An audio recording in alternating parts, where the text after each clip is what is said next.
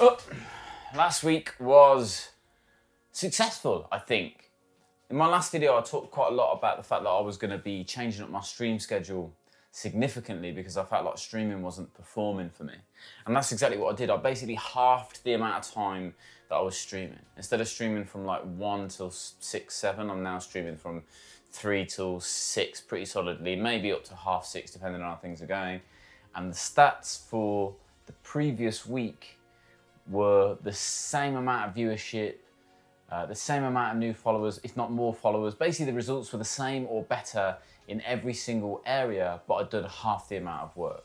Now, I don't want to be too analytical about this because I realise this is a people thing as well. Like, I want to see the community, I want to spend time with the community, but also I've just got to be sensible about where I'm spending my time because I'm trying to make a career out of this. At the moment, or historically, what was happening is I was struggling to get any kind of long form content done because I just didn't have the time. I'd spend my morning researching and filming short form content, and then it would basically take me up to about lunchtime by the time that stuff was edited.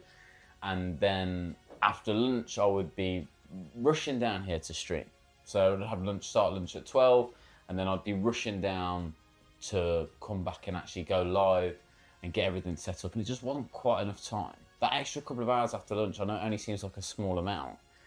That time from like one till three gives me the ability to produce stuff like this or stuff like I did last week. So last week I think I put three pieces of long form content out. It's a podcast and a couple of diaries and I love doing them all. I was actually going to go out again today because I enjoyed the process of going out and filming the vlog and pushing the boundaries of what I was comfortable with, but it's rainy and I didn't want to get my camera wet and it's just one of those days. But sometimes we're going to be doing stuff outside, sometimes we're going to be doing stuff inside. I've got some cool ideas that I think I'm going to go for in terms of vlog stuff that might make it a little bit interesting, but I'll wait uh, to tell you about those when they actually happen because otherwise it just ruins the whole thing. So yeah, last week I put a lot of long form content out that I was really proud of and I enjoyed streaming again for the first time in what feels like a while. Uh, I'd fallen into this trap, I think, of streaming for other people all the time and not streaming for myself and not doing the things that I enjoyed. And that makes it really hard. That turns it from a thing that you enjoy and love doing into a job that you hate when you're forcing yourself to do things that you're not happy with because you think it's going to perform better. There needs to be a little bit of that. There needs to be a little bit of this is not 100% where I want to be, but it's on the path to where I want to be. But it doesn't need to be that all the time. And I had gone from doing community games and playing Fortnite once a week to playing it like five times a week. And it was just tedious. And even the people who wanted that originally weren't there for it really anymore. And that's got to be down to the fact it's not about them.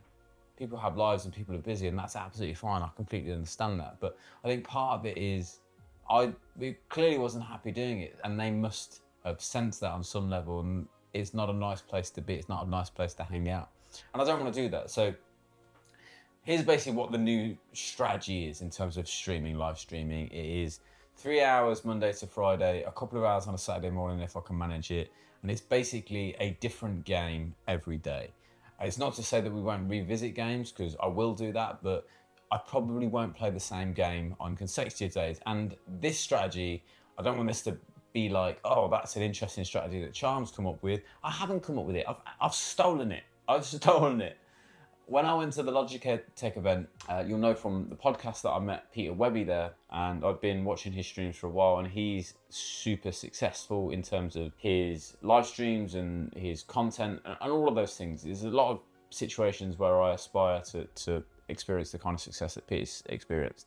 And one of the things he said was that he really changed stuff up to to to work with TikTok, but also work with him. So you know, shorter, sharper streams, uh, more impactful, super interactive.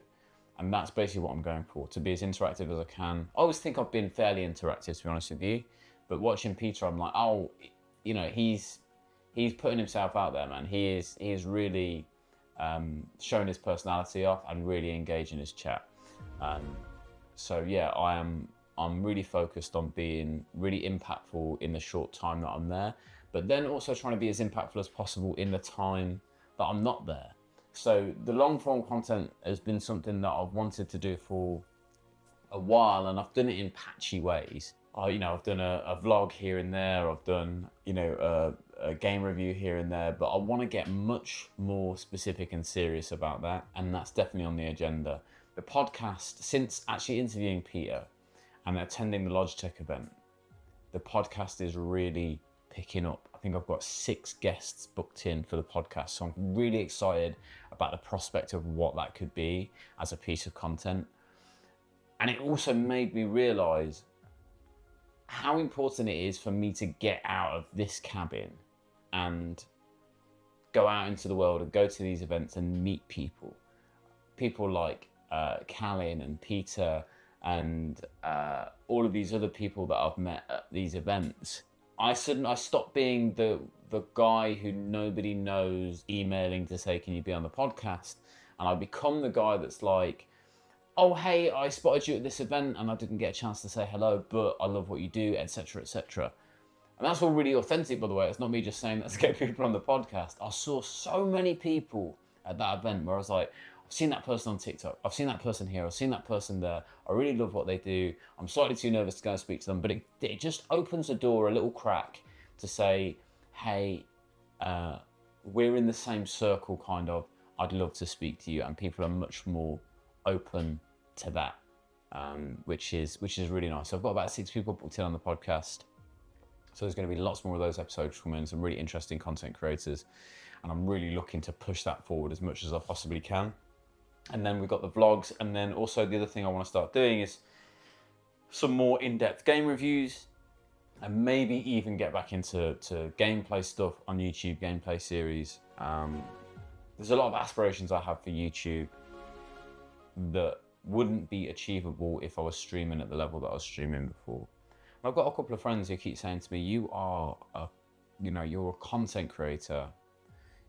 You're not just you're not a live streamer you know, live streaming is part of what you do, but they really feel that I'm, I'm what I do is I create content, and that's where I shine, I guess. And that is what I enjoy as well.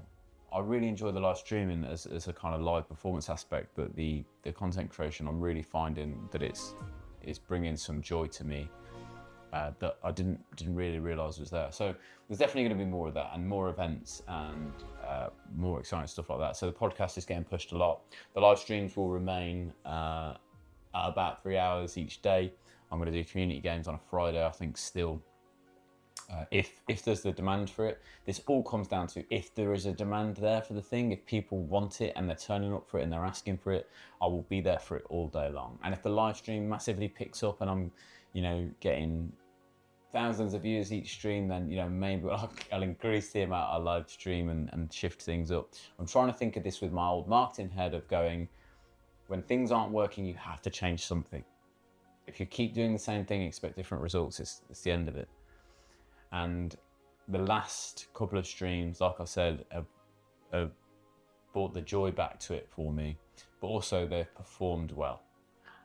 But here's the big thing even when they're not performing at the very highest level, I'm still enjoying it, which wasn't, wasn't true of uh, other games. There were games that I was doing, and I realised after the fact, purely because I felt like it would get me numbers. So that's where we're at. We are pushing forward with long form content. We are pushing forward with the podcast. We are changing up the live streams but still trying to improve everything with every stream, with every interaction, with every new game. We're trying to be better. I'm trying to be more impactful and I'm trying to be more interactive. Uh, don't forget, guys, if you want to support me um, outside of YouTube and outside of uh, TikTok, then what you can do is you can go to ko-fi.com forward slash charmthegamer. I'll put the link down in the description as well. You can either do one-off donations, you can subscribe, and people who subscribe on a monthly basis get early access to these videos.